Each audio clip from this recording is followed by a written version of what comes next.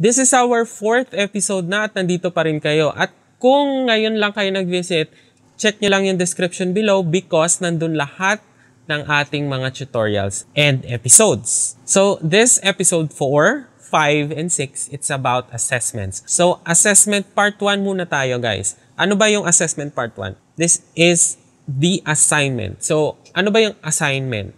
Sa Canvas po, when you say assignments, these are any tasks given to students. So whether it's a discussion or forum type, subjective or objective type of quiz, any submissibles, yun ang tinatawag na assignment sa Canvas. But let's start first with the easiest.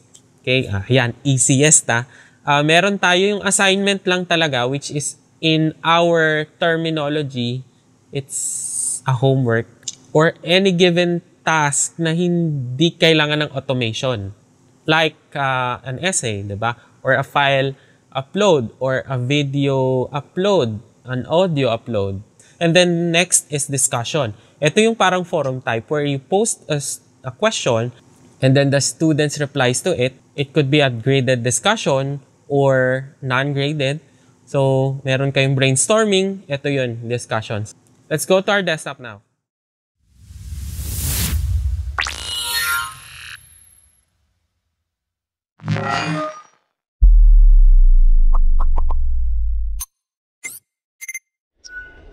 Okay, let's proceed to assignment. So, para gumawa ng assignment, same din sa announcement, kailangan may click yung assignments dito and then click assignments. Okay? Um, ngayon, magkakaroon ka ng title. Ano yung title ng assignment? Kunyari, chapter 1 ulit. Activity 1. Dito, dito mo ita-type ngayon yung questions. So, kunyari, number 1, ito, ito, number 2, ayan, ayan. Then, um, You can add also some images. So, pares lang din sa uh, announcements. Okay, after nyan, i-add mo yung points. Ilang points yung gusto mo? For example, 100 points. Okay, anong klase siya? Is it points, percentage? Yan, gusto ko percentage kay pakita sa student. So, I'll click percentage. And then, um, dito sa baba, anong klaseng submission? So, let's define first isa-isa.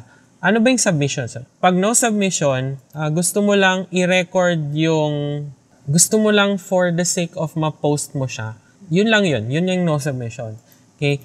Pag online naman, ito yon you, you will be asked, anong klaseng online yung pwede mong ispa-submit? Pwedeng text entry. So, magkakaroon sila ng parang gantong interface. Uh, yun yung text entry. And then, uh, is it website URL? So, note lang na pwedeng checkan lahat. Okay? So, a website URL, kunyari magpapasubmit ka through, ang, ang submission is YouTube, no? Pwede naman po yan sa website URL. Pwede ding media recordings. Media recordings meaning magre-record sila ng audio or video sa kanilang mga laptops or tablets or cellphones. Pwedeng yan lang yon okay? Yun lang ang tatanggapin niya. So, may limitations kang pwedeng iset. Next is yung file upload. Kunyari, gusto mo, file yung isasabit nila So, file uploads yon and pwede mo ring i-restrict kung anong gusto mong file type. So, sa atin, uh, since ang example ay separated by comma, so gagawin natin PDF lang gusto ko. O yan. So, PDF lang yung ma-upload nila. Kung gusto mo pati document, so lagyan natin docx. Comma yan ha, and then doc sa mga old Word files. So, yun, etc. etc. So, ikaw ang bahala kung ilang parameters ang gusto mong file types na pwede nilang isubmit. For me, kunyari PDF yan, ilang beses sila pwedeng mag-attempt? Is it unlimited? So habang hindi pa nagde-deadline, pwede silang submit ng submit ng submit hanggang ma-revise ng ma-revise ng ma-revise. Okay? So pwede ring limited. Kung gusto mo, is, gusto ko dalawang beses lang, dalawang beses lang sila mag-submit. So pwede rin po yun. So for now, unlimited ko lang siya. And then kung meron kayo sa admin nyo ng um, eto, turn it in, pwede naman nating i-activate yan. Pero hindi na po natin discuss muna. And then, um, and this is a group assignment. Ito yung sinasabi ko kanina, yung ginawa natin last episode. Which is, kung gusto mo na hindi individual yung submission, and then, and then uh, i-check mo to, and ilalabas niya lahat ng ginawa mong group set kanina. Yung group set natin is activity 1 and 2. For example, activity 1, uh, i-visualize nyo na lang, kung kunyari merong limang grupo dun sa activity 1, Uh, tapos, lima sila sa kada grupo. Pag may nagsubmit na isang member lang sa group A, ibig sabihin lahat sila uh, makakasubmit na or marked as submitted na. Okay? Ganun yung group assignment. Okay? Pwede din i-click mo to. Ibig sabihin, isa-isa mo silang gagradean. Uh, for now, naka-default uncheck. So, yan, uncheck natin. So, yon yun ang group assignment. And then, dito tayo mag-focus ngayon. Uh, dito maraming na uh, nadadali. Yung assign to. When you say assign to, um, pwede kang mag-assign ng certain individuals sa loob ng assign to. Sample natin is ito. Default niya everyone. Ibig sabihin, lahat ng miyembro ng courses meron uh, gantong deadline. Available from. Saan nag start or saan mag-open yung activity. For example, February 15. Yeah. Sabi mo, okay guys, ganito ha. February 15 mag-open yung activity nyo. So, yan na yan. Ito yun. Available from. And then due. Yung due naman, 15 yan, di ba? So, sabi natin, sabi mo, after 5 days, yan ang due date. So, that's 20. 16, 17, 18, 19, 20. Lahat ng submissions after ng February 20, 1159, ay considered late na. Okay? Tatanggap pa si Canvas kapag ka wala kang nilagay na until. So, ang due date lang ay parang sinabi mo lang na, okay, tanggap ka ng tag- tanggap, pag sinabit yan between February 15 hanggang February 20, 1159, wala lang. Itatanggapin mo siya. Pero, kunyari February 20 onwards, hindi ka naglagay ng parameter sa until, tatanggap yan hanggat hindi mat, hindi ka hindi matapos yung klase mo or hindi matapos yung nilagay mo sa course management na uh, ends ng course.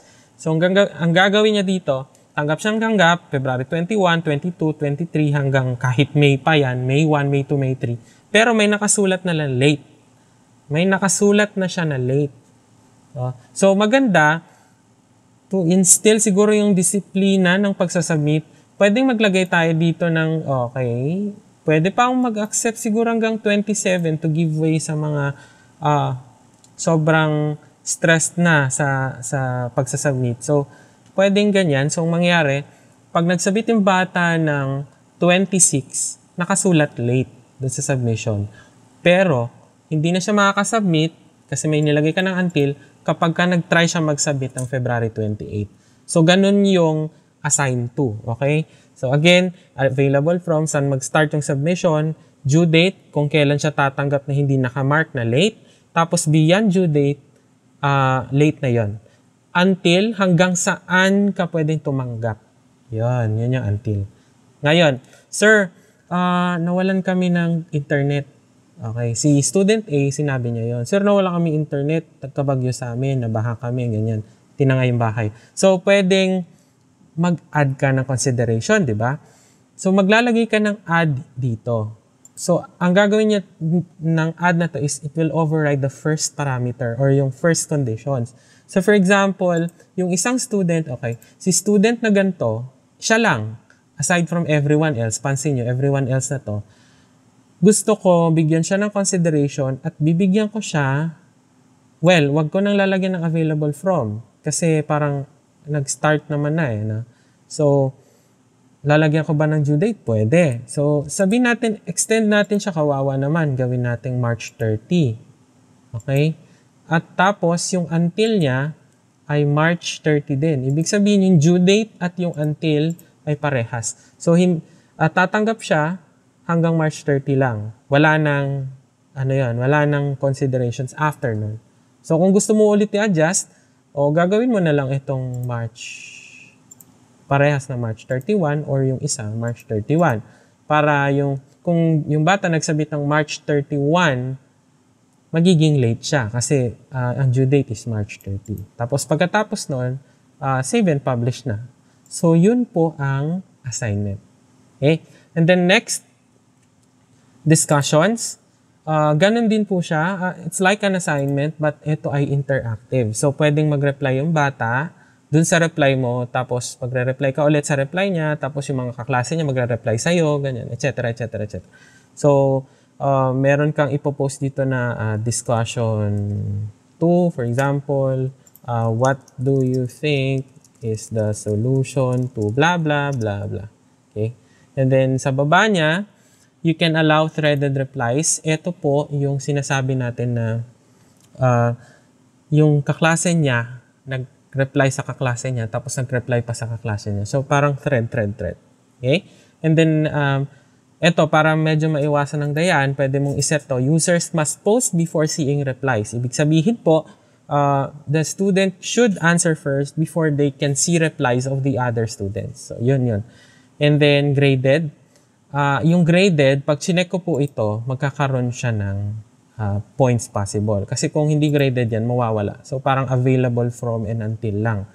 Pag nilagay po natin graded, graded magkakaroon ng points. Ano ba yung gusto mong i- uh, i-percentage ng or points ng ano ng ng ng discussion na to. Okay?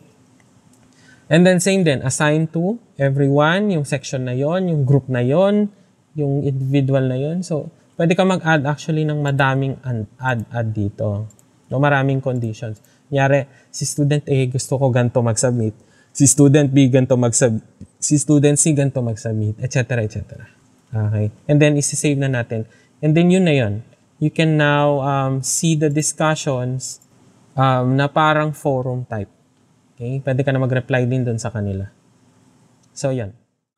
So, to sum it all up, meron tayong assignments and discussions and marami pa palang nasa loob ng dalawang yon no? Hindi lang basta-basta pag sinabi nating assignment ay iniisip natin essay na lang siya. Hindi lang pala yon. So after no, nakapag-submit na yung bata, nakapag-discuss na siya. So paano naman natin i-check? That will be our fifth episode. Salamat sa panonood and don't forget to like and subscribe sa channel ko. At kung meron kayong tanong, comment lang down below. Once again, this is Teacher Richeng, may paraan basta may technology. See you next episode. Bye-bye.